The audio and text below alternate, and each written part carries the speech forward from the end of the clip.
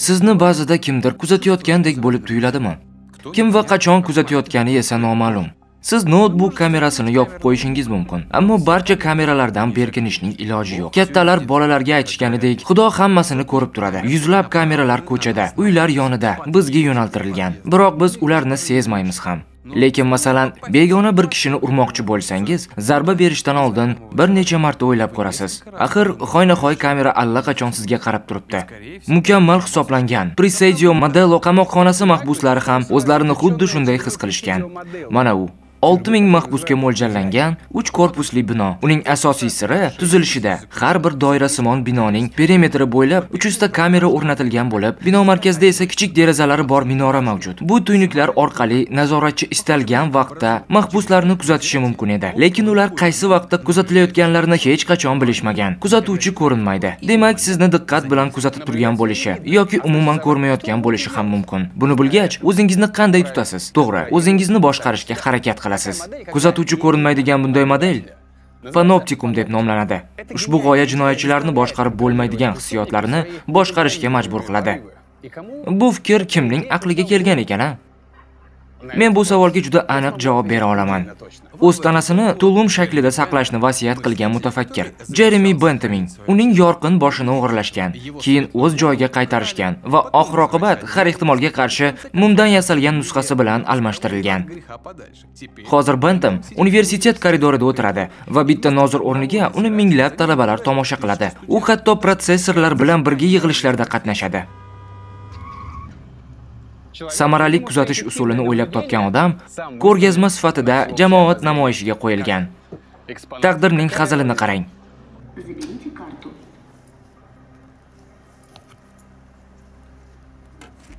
Hazil-hazil bilan u, lekin agar men zamonaviy jamiyatning mohiyati aslida bir panoptikum deb aytsam, nima deysiz? Biz esa unda mahbuslarmiz. Michel Fuko aynan shunday o'ylagan. Biz hammamiz ulkan panoptikum ichida yashamoqdamiz. Yuzni tanib oladigan kameralar, ijtimoiy kuzatuv dasturi, fitness brasletlar, ijtimoiy tarmoqlar. Biz hammamiz 24 ga 7 kuzatuv ostidamiz. Men sizga aytsam, siz aytadigan, bajaradigan va hatto o'ylaydigan hamma narsangiz allaqachon oldindan ma'lum. Va yaqin 20 daqiqa ichida men buni sizga isbotlab beraman. Va siz oxir-oqibat shunchaki ishonish qiyin birodarlar, deb bo'lsa ham o'z fikrlaringizni qoldiring.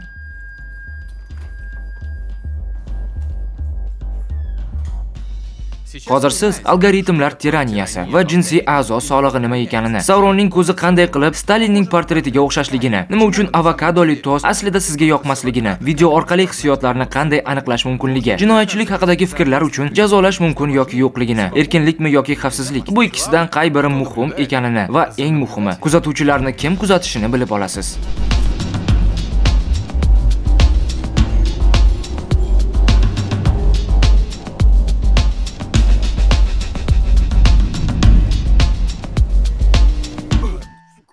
Bu esa mening ichki do'stim Volodya.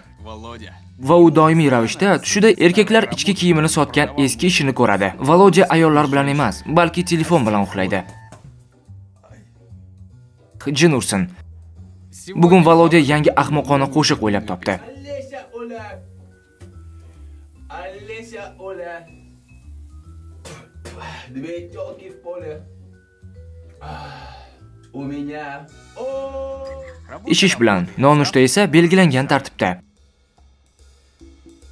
Makaron choyga tushdimi? Nima bo'pti? Yeb yuborilaveradi. Qisqasi hech nimaning farqi yo'q. Равницах. Работа ishi ish qidirish.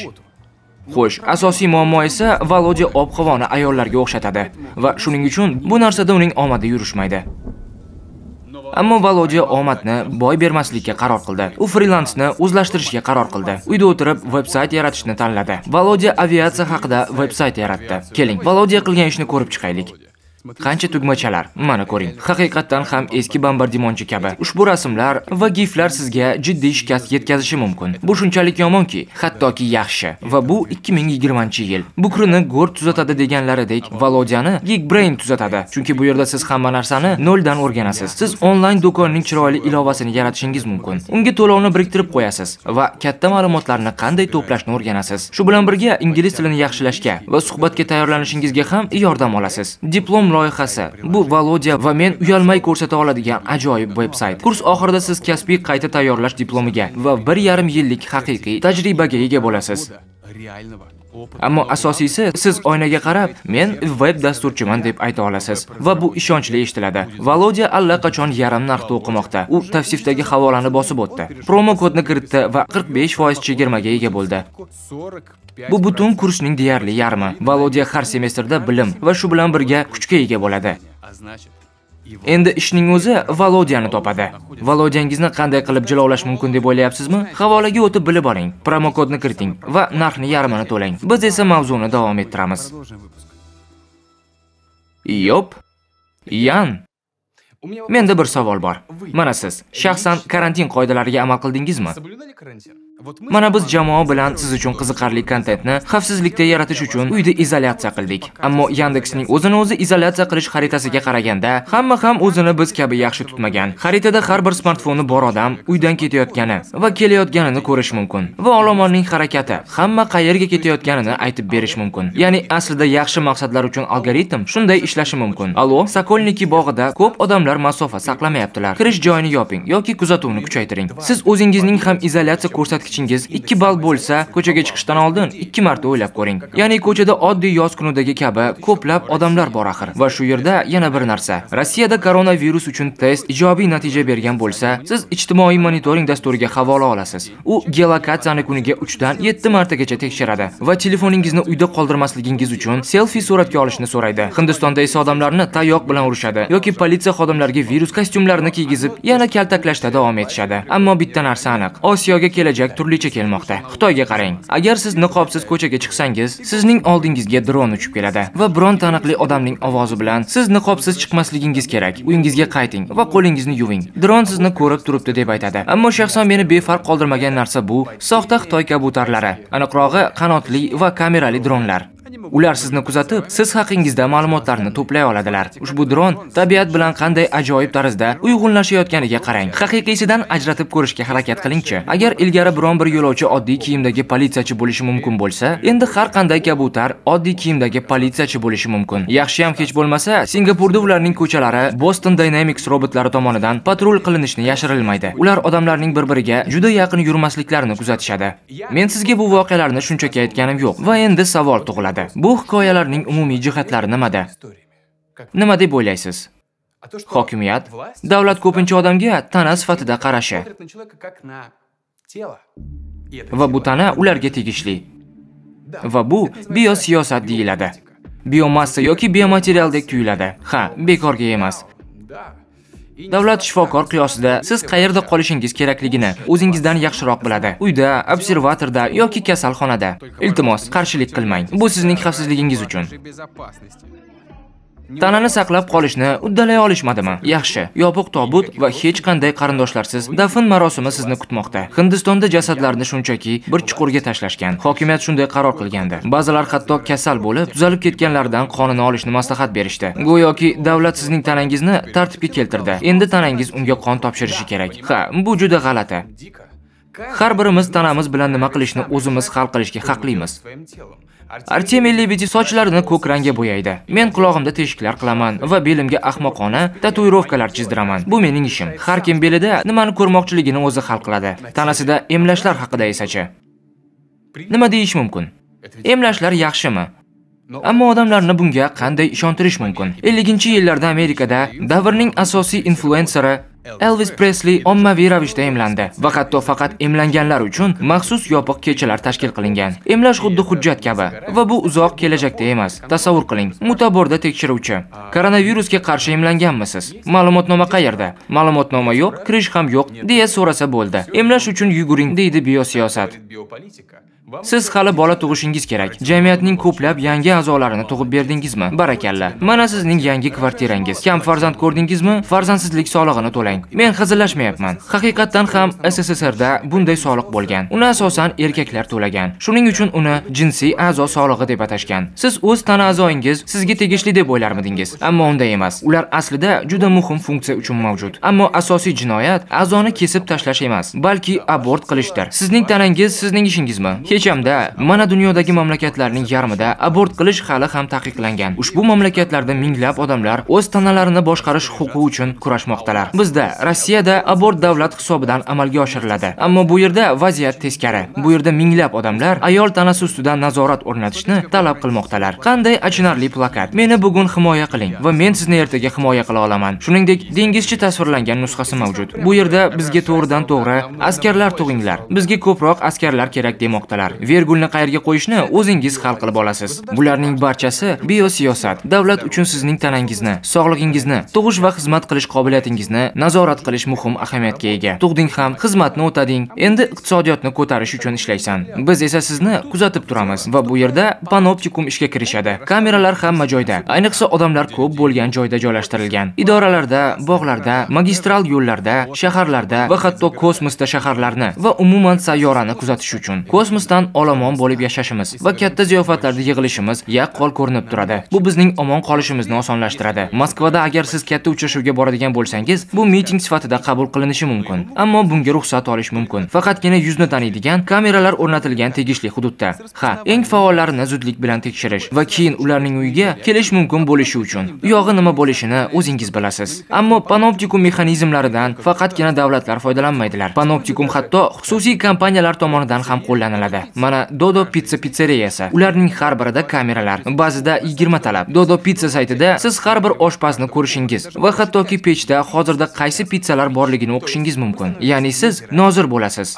Pizzeriya ishchilari esa panoptikum mahbuslari. Siz ularni kuzatishingiz yoki ularni yolg'iz qoldirishingiz mumkin. Oshpazlar ularni qaysi vaqtda tomosha qilishingizni bilmaydilar. Shuning uchun ular har doim diqqatli bo'lishadi. Moskva bu katta Dodo Pizza muassasasi. Yuzni tanib olishning eng yaxshi tizimi Xitoyda emas, aynan bu yerda.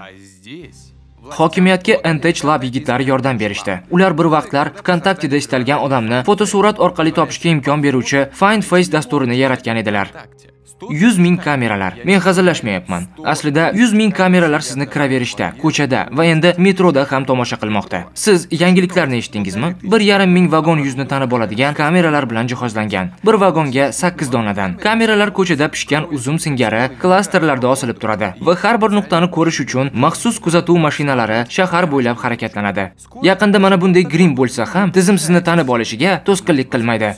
Ammo kamera sizni faqat tashqi tomondan ko'radi. Ichki holat esa ancha qiziqroq. Nima uchun sizning davlatingiz shaxsiy yozishmalarga kirishni xohlaydi va ularni oshkor qilmaydigan barcha xizmatlarni blokirovka qiladi. Yo'q, pul boshqa kompaniyalarga, boshqa mamlakatlarga ketayotgani uchun emas. Jinoyatchilarni muddatidan oldin zararsizlantirish kerakligi sababli emas va amerikaliklar tufayli ham emas. Chunki davlat ma'lumot yo'qotishdan qo'rqadi. Ma'lumot esa bu kuch degani. Ammo ko'plab davlatlar ushbu musobaqada allaqachon mag'lub bo'lishmoqda. Kimga deysizmi? Siz bilan kechagi kunduzni o'tkazgani uchun. O'tgan hafta u nima sotib olganingiznigina emas, balki qachon jinsiy aloqada bo'lganingizni ham bilgani uchun. Bular Google va Apple kabi ulkan kompaniyalar. Men jiddiy aytayapman. Odamlar aqlli soatlarda jinsiy aloqada bo'lishadi va orgazm yurak urish tezligidan ko'rinadi. Google siz haqingizda, sherigingizdan, shaxsiy shifokoringizdan va hatto sizdan ham ko'proq narsani biladi. U qachon va qaysi vaqtda musiqa tinglayotganingizni, transportda qay vaqt yurishingizni, shamollaganingizda qanday dori qidirishingizni, qayerda piyoda yurishingizni, kofe sotib olganingiz yoki taksiga qo'ng'iroq qilganingizni, dunyo bo'ylab qayerga borishingizni va qanday mahsulotlar kerakligini biladi. Shu tarzda milliardlab odamlar uchun bu qanday kuch ekanligini tasavvur qilyapsizmi? Ushbu millionlab odamlar qayerga ketayotgani haqida ma'lumotga ega ekanligingizni tasavvur qiling. Ular qayerda yig'ilmoqdalar, nimani xohlashadi, nima sotib olyaptilar. Bu yozda ular nimani xohlashdi? Ularni qanday muammolar qiziqtiradi. Ushbu ma'lumotga ega bo'lganlar kuch, pulga ega. Umuman olganda bunday ma'lumotlar bilan ko'p narsalar darhol aniqlashadi. Endi tasavvur qiling, siz ushbu epizodni tomosha qilayotganingizda kimdir sizning yurak urishingiz, harorat, qon bosimi va nafasingizni yozib olgan. Bu bilim unga sizni nima kuldirishini, yig'latishini yoki g'azablantirishni tushunish uchun yetarli. Bu yangi sifatli bosqichga biometrik kuzatuv darajasiga o'tish va bunday neyron tarmoqlar allaqachon mavjud. Siz avtomobil haydayotgan paytingizda, kinoteatrda film tomosha qilayotganingizda yoki uyingizda o'tirganingizda ular sizni kuzatishi mumkin va nimani kulguli deb o'ylaganingizni va nima yoqmasligini tushunib oladi. Agar korporatsiyalar va davlatlar bizning his-tuyg'ularimizga kirish imkoniga ega bo'lsalar, ular bizga xohlagan narsalarini sotishlari mumkin. Yangi gadjetlardan tortib, siyosiy dasturlarga qadar. 2030-yilda Shimoliy Koreyani tasavvur qiling. U yerda siz 24 soat davomida biometrik bilaguzuk taqib yurasiz. Agar siz buyuk rahbarning nutqini tinglayotganingizda bilaguzuk g'azab alomatlarini sezsa, siz shunchaki minomyot bilan o'ldirilasiz. Ha, mudofaa vazirlarining sobiq o'rinbosari Kim Chol kabi va bu Shimoliy Koreya tuzumi haqida emas, balki hokimiyat tabiati haqida. Bilasizmi, qo'lingizda bolg'a bo'lganida hamma narsa mixga o'xshaydi. Sizning qo'lingizda hokimiyat bo'lsa, har bir holat aralashish taklifiga o'xshaydi. Yana bir necha yil va dasturlar bizni o'zimizdan ko'ra yaxshiroq biladi. Biz nimani his qilamiz, nimani o'ylaymiz va nima qilamiz. Inson diktaturasi o'rnini algoritmlar tiraniyasi egallaydi. Qarang, bitta it yuzlab qo'ylarni qanday o'tlatyapti. Xuddi umumiy kuzatuv jamiyatida bo'lgani kabi. Bilimga ega bo'lganlar bir kishi yoki algoritm yuzlab fuqarolarni boshqarishi mumkin. Ammo eng ajoyib narsa shundaki, panoptikum jamiyatda cho'pon itiga ega bo'lish shart emas. Odamlar orasida ular kuzatilayotgani tuyg'usini yaratish kifoya. Misol izlab uzoqqa borish shart emas. Siz hayron qolishingiz mumkin, lekin Moskvada tezlik radarlarining yarmi mulyaj. Ular haqiqiylardan farq qilmaydi. Hatto ular navigatorda kameralar sifatida belgilanadi. Vaqti-vaqti bilan mulyajlar va haqiqiy kameralar joylarini o'zgartiriladi va haydovchilar qaysi nuqtada kuzatilayotganliklarini bilishmaydi. Shuning uchun tezlikni pasaytirishadi. Har ehtimolga qarshi. Sauronning hobbitlari qayerda bo'lishidan qat'iy nazar, ularni ko'ra oladigan ko'zni eslaysizmi? Xuddi shu effekt SSSRda ham Stalinning portretlarini barcha idoralarga osib qo'yishda ishlatilgan. Rahbar sheriklarini portretdan kuzatayotgandek tuyuladi va ular uning oldida o'zlarini sharmanda qilishdan qo'rqishadi. Bolalikda nima deyishganini eslang. Xudo hamma narsani ko'radi. O'zingni bilib yur. Bolalar bu ma'lumotni to'g'ridan to'g'ri qabul qilishadi. Xuddi kuchli bir odam ularni kuzatib o'tirgandek. Shu sababli ular ota-ona nazoratidan tashqarida ham o'zlarini yaxshi tutishadi. Bolalar o'sadi, ammo munosabat saqlanib qoladi. Odamlarni tarbiyalash uchun shunchaki jilmaying. Yashirin kamera suratga olyapti. So'zlarining o'zi yetarli ekanligi isbotlangan. Endi bu itga qarang. Bu jangovar it itoatkorlik bilan buyruqlarga bo'ysunadi. Garchi u murabbiyning yuzidan tishlab olishi mumkin bo'lsa-da, ammo u hech qachon bunday qilmaydi. Kesib o'tolmaydigan aniq bir chegara bor. Bu intizom deyiladi va u muqobillashtiruvchi hokimiyat tomonidan qo'llaniladi. Ya'ni agar repressiv hukumat bizni istamagan narsani qilishga majbur qilsa, muqobillashtiruvchi hukumat bizni kapitalizmga kerak bo'lgan narsani, jamiyat uchun kerakli narsani qilishni xohlashimizga majbur qiladi. O'g'il bolalar yig'lamaydilar. Ular janjal orqali muammolarni hal qiladilar. Voyaga yetgandan keyin ular bor kuchi bilan ishlab ayollardan ko'proq pul topishadi. Mansab pog'onasiga ko'tarilishadi. Ko'p ovqat yeyishni yaxshi ko'radilar. Ba'zida hatto go'zal ayollarga tashlanishni orzu qiladilar va tashlanadilar ham. Xo'sh, qizlar poshnali oyoq kiyim kiyishlari, salat yeyishlari, ular go'zal tarzda bo'yangan bo'lishi kerak, lekin ayni paytda tabiiy ko'rinishlari zarur. Erkaklarning hazillariga kulishlari, ammo qolgan vaqt sukut saqlashlari lozim. Erining familiyasini olib, albatta unga farzand farzandlar tug'ib berishlari kerak. Nima uchun? Ularni hech kim majburlamaydi. Bunday qonun ham yo'q. Bu shunchaki qabul qilingan. Bu odatiy hol. Xuddi shu tarzda hokimiyat kim jinsiy aloqaga kirishishi mumkin, kim esa yo'q. Kimda asrab olish huquqi bor va kimga esa bunga rad etiladi. Kim hurmatli ko'rinishga ega va kim esa bankda ish topa olmaydigan oddiy frik ekanini hal qiladi. Normalar jamiyatida biz o'zimiz ustimizdan nazoratchiga aylanamiz. Biz o'zimiz butun hayotimizni Instagramda joylashtiramiz. Shu bilan yangi me'yorlarni yaratamiz va kofein ta'siridagi bir qancha shimpanze singari ushbu me'yorlarni buzishga jur'at etganlarga nafrat izohlarini qoldiramiz. Jamiyatning bosimi qanchalik kuchli bo'lishi mumkinligini tasavvur ham qila olmaysiz. Ushbu tajribani ko'ring. Barcha bolalarni piramidalar oq rangda deb aytishga ko'ndirishgan. Aleshka, piramidalar qaysi rangda? Diqqat bilan qarang. Ikkalasi ham oq. Ikkalasi ham oq. Olinka. Ikkalasi ham oq. Bu qizdan tashqari, u hamma kelishib olganini bilmas edi va unga oq yoki qora piramidani tanlashga ruxsat berildi. Lena, piramidalar qanday rangda? Ikkalasi ham oq. Bu qiz piramidalar turli rangda ekanligini ko'rib turibdi, lekin umumiy javobni berdi. Nega uni oq deb aytding? Nega? Bilmayman. Bilmaysanmi? Bu faqatgina bolalar bilan sodir bo'lmaydi. Mana marhamat. Jamiyatning bosimi voyaga yetgan insonni sindirganini ko'ring. Piramidalar qanday rangda? Sizning fikringiz? Ikkovi ham oq, ikkovi ham oq, ikkovi ham oq, ikkalasi ham oq. Ikkalasi ham oq, ha, ikkalasi ham oq. Albatta, ikkalasi ham oq rangda. Oq, ikkalasi ham oqmi? Jiddiy aytsakchi. Ikkalasi ham oq. Aniqmi? Ishonchim komil. Katta rahmat. Odamlar ommaga ergashuvchi jonzotlardir va avvallari omon qolish jamiyat bilan rozi bo'lishga bog'liq edi. Hamma tomdan sakrasa, sen ham sakraysanmi deb so'rashardi ota-onalar. Ha, lekin ular bir narsani bilishmasdi. Aksariyatimiz sakragan bo'lar edi. Sizningcha bizning avlodimiz boshqachami? Agar jamiyatning bir guruhi biror narsa qilsa, boshqalar uni takrorlashni boshlaydilar. Instagramdagi breakfast yorlig'ini ochib ko'ring. Bir xil suratlar. Avokado, tuxum, bo'tqalar, mevalar va pankeyk yoki flat white hashtagi. Bir xil turdagi rasm, sut ko'pigi bilan va mana craft beer, pivo bilan krushka rasmlari. Ammo hozirgi paytda poda tuyg'usining eng yorqin ko'rinishlari TikTok tendensiyalaridir.